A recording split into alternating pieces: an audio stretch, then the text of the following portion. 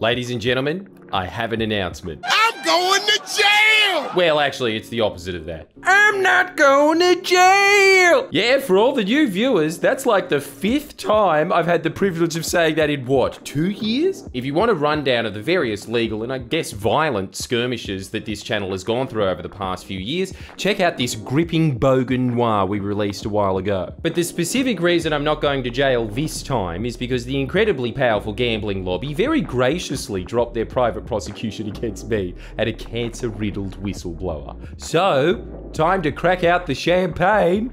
I'm not going to jail on the whim of an organisation that the New South Wales Crime Commission have found funds itself and its lawyers, mind you, with the proceeds of crime. Sorry, this is probably very confusing for everyone because I was dragged through court for this shit and I myself found it confusing. You know what? I bet that the lawyers prosecuting me found it confusing too, but I didn't want to fund their prosecution against me further by taking that bet. So let this video explain to you, as best it can, how I could have ended up in prison for the crime of someone else pointing out crimes. And if you do understand this video, for the love of God, can you give Naked Lunch a crack and tell me what happened in that movie? Alright gamers, here's the any percent speed run of what happened. I'm in New South Wales, that's the most populous state in Australia. New South Wales is the gambling capital of the world. We love to gamble using poker machines. We call them pokies. The lobby group that represents the main venues that contain pokies is Clubs New South Wales. It's very easy to launder the proceeds of crime by putting it through those pokies. Clubs New South Wales employee Troy Stolz leaked to Parliament that 95% of Clubs New South Wales venues are not complying with anti-money laundering regulations. Clubs New South Wales sue him for this, draining him of hundreds of thousands of dollars, forcing him to sell his house. I covered this suit in September of 2021. Months later, Troy discovers he has developed terminal cancer. My producer is the first to interview Troy after the cancer diagnosis, where they discuss his cancer, his prognosis, and the ongoing legal battle with Clubs New South Wales. The interview was put out on this channel. And then Clubs New South Wales had, as you kids would say on the net, a meltdown. For the first few months after this interview came out, I thought I was being stalked. Actually, why don't we let past Jordies tell this part, eh? I thought that I was being stalked. I'm rarely ever at home. What happened every couple of weeks when I actually do go through the front door of my house is I could feel that someone was coming up behind me. Clubs New South Wales took out an ex parte application in the Federal Court of Australia to run a criminal contempt of court prosecution against Troy Stolz and myself. Troy for the heinous crime of being interviewed, and me for the heinous crime of someone else interviewing Troy. Just so everyone knows, that's not me in the interview. I haven't had plastic surgery and straightened my hair chemically. That's my producer. Now, ex parte. You know what that means? Nah, because you weren't alive in 1 AD? No excuses, pick up your game. It basically means a decision made in court with only one party present. Even in f***ing show trials, they have two parties present. Troy wasn't there. I wasn't there. How could we be? We didn't know it was on. Usually an ex parte is reserved for the most serious dire situations. I'm talking about someone's life being in jeopardy, shipments of drugs just about to arrive, someone abuses the YouTube copyright system, and actually, that is pretty much what happened. I probably shouldn't have used that as the gag there.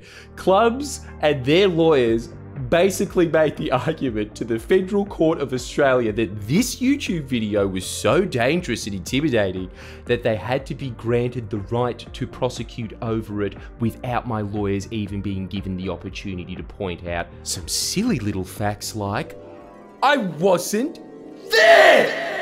In my opinion, it would take pretty accommodating lawyers to actually go ahead with such an insane ploy. Luckily for clubs, it really seems like they had been stocked in that particular category. The ex parte application is granted without my knowledge, which is how it works. And I spent a month thinking I'm being stalked as a result. How silly of me.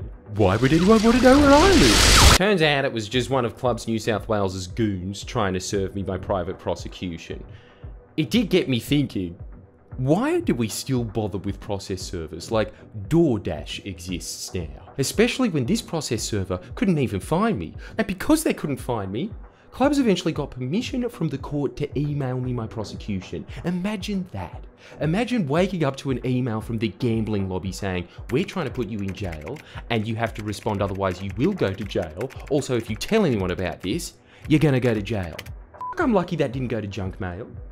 This was all under a suppression order, meaning that it was illegal for anyone to report on this prosecution. Not that the Australian press would have anyway, but it was illegal for me to even tell anyone. If I had a flatmate and accidentally told him, that was my life the most annoying part of the Monopoly board. Anyway, I go to court wearing my court clothes, which is essentially just my work uniform now. I honestly feel like one of those NRL players. Like, it's just, why am I constantly being taken to this particular building? I really genuinely don't understand. So, going after me and a dying whistleblower sort of starts to kick up a bit of a fire about the power of clubs in New South Wales and money laundering through poker machines. You put your dirty cash in, you get your clean cash out, you take your receipt or check, and you shake it all all about. You do your money laundering, you get the f That's what it's all about. This might be a surprise to you, but not everyone in the state is cool with money laundering being easier than getting out of a Wilson car park. One of the main solutions is the cashless gaming card that allows limits to be placed on spending and allows police to see if the money from meth is getting turned into money from Queen of the Nile. The New South Wales Crime Commission comes out with a report that details the billions of dollars of the proceeds of crime are washed through pokie machines every year, and to combat this scourge, it recommends adopting the cashless gaming card. In response, Clubs New South Wales initiate a jihad against the proposed cashless gaming card. The prosecution of Troy myself was just legal fatwas in this jihad. They launch custom political campaigns against politicians that back the cashless gaming card, including Helen Dalton, an independent holding one seat. Think about that. Just an act of pure intimidation designed to warn others not to step out of line. As you can imagine, the arguments against the cashless gaming card are that level of shit that you can only get from AM radio. You know those arguments like, oh, cash on a gaming card? That's a bit, um, elitist, isn't it? How? Uh, I don't know. They're honestly that lazy and half-assed. The best argument seemed to be, oh, well, this is all a bit complicated. I mean, who's ever heard of putting money on a card? You know your nan can't figure out a card. She's got very few joys in life. It's only chuck it in 50s until she's got no retirement funds left. Just some old fashioned fun. If you're Australian, you already know how stupid that is. You know how difficult and annoying it is to get into a club. It's like you're doing a clarity test at the Church of Scientology. They make you fill out all these ridiculous questions like, what's your deepest, darkest secret? And then if they don't like your shoelaces, they kick you out anyway. Believe me, I know. At this time, Clubs New South Wales CEO Josh Landis is going on a bit of a media rampage, desperately trying to turn public sentiment against the gaming card, when he goes too far. Says the Premier of New South Wales, Dominic Perrottet, wants the cashless gaming card because of his Catholic gut. He's fired because of this. Now look, this guy wanted me in jail. I'm also from a Catholic background. Even I can say cancel culture has gone too far. They clearly wanted him out because he pushed the little jihad against a dying whistleblower way too far, and so they just threw a dart at the words he said that day and pretended to have a heart attack over whatever it landed on. But whatever, I'll take it. That's a win. You're very mean and offensive, Josh, and I hope you've had time to reflect on the hurt you've inflicted on this innocent man. Obviously, it's a very sought after role being the head of an organisation funded by the proceeds of crime, so of course, I'm imagining a very talented crop of individuals put their hand up to run that, including a man who's attempted to chuck my producer in prison and tried to bankrupt me. The man, the myth, the legend that is. Surprise, Stitch. Heard you are looking for a stud with leadership experience, bruz. Wow. That might have been the first job that John Barilaro has ever applied for where he didn't have to change the criteria of it so he could fill the role. Just a week or two after the old CEO was fired, Troy settles his civil case with Clubs New South Wales and they also drop their prosecution against him. So now he can suffer cancer without worrying about going to jail at least. They also drop their charge against me and pay my legal costs in exchange for giving them nothing. A total and utter retreat by Clubs off, you vultures. Anyway, I'm now considering my legal options against clubs because I do think that this was somewhat a malicious prosecution, to say the least, and a gross waste of court's time, not to mention their resources, and I don't think that that should ever be repeated again. So, yeah.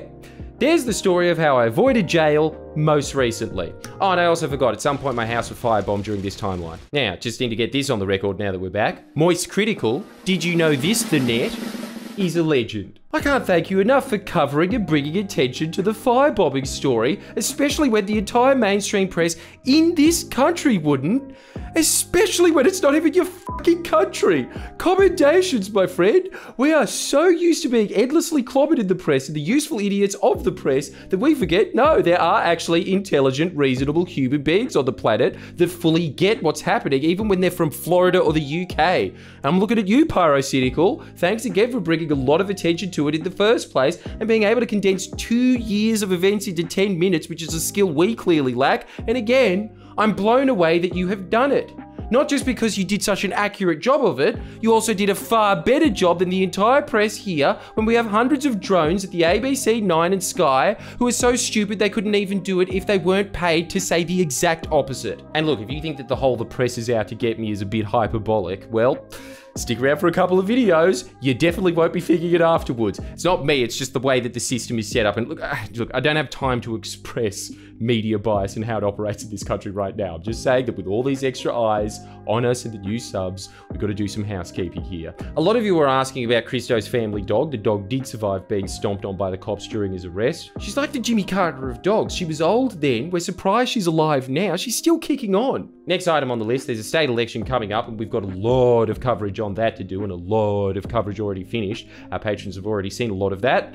This upcoming election is a big one. I honestly think that this is more important than our federal election. We really have to do all we can to see that these corporate consultants are replaced with a Labor government so we have an actual functioning government in New South Wales. That'll be a nice change after 10 years of that.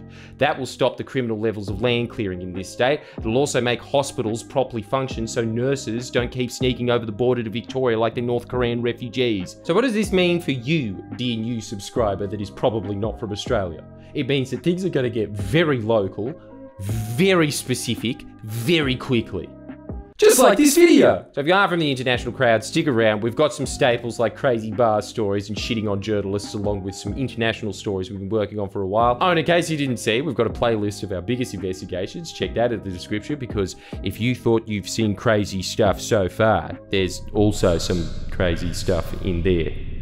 So check that out, and uh, thank you for all the kind words in the comments. It humbles me greatly that you would be interested in a country that doesn't have such immortals walking amongst it as Zach Braff. Hang on, let me just actually check if he's still alive. And no, no, we're good. Hey, let's hear it for Zach, huh? Like and scrub scribe if you like Scrub Star Zach Braff. See you next time. Please share and comment below. Comment. You put your dirty cash in, you get your clean cash out. You take your receipt or check and you shake it all about. You do your money laundering, you get the f out. That's what it's all about.